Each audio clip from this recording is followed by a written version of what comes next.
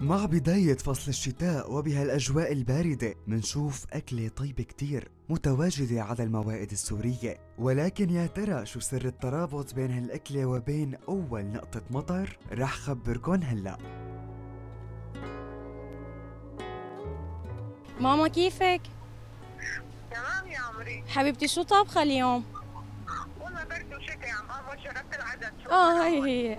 عادات وتقاليد. هلا أول ما تنزل نقطة مطار أول شيء أول شيء بيخطر على بالها شوربة العدس هلا ما بعرف هلا في شغلتين. أول شغلة إنه هي بتدفي يمكن وثاني شغلة بيعتبروها مثل عادات وتقاليد أو شيء هيك إنه بمجتمعنا أي حدا أو أي هوا ما هوا مطر دغري شربت عدس أول ما بتغيم الدنيا بلش العدس يكتر بالمحلات.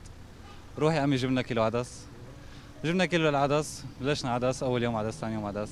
خلص المطر رجعنا على الاكلات العاديه إيه دائما هيك بس تنزل المطر بتشغل الدفاية بتنحط هي الطقوس الأضواء هيك ال- الضعيفة وشوربة العدس. هي أجواء الشتوية دائما. حتى لو ما كان برد يعني هي هيك عادات وتقاليد. هلا بجوز هي عادات وتقاليد يعني من وقت أنا بتذكر من وقت ما كنت صغيرة كانت ستي.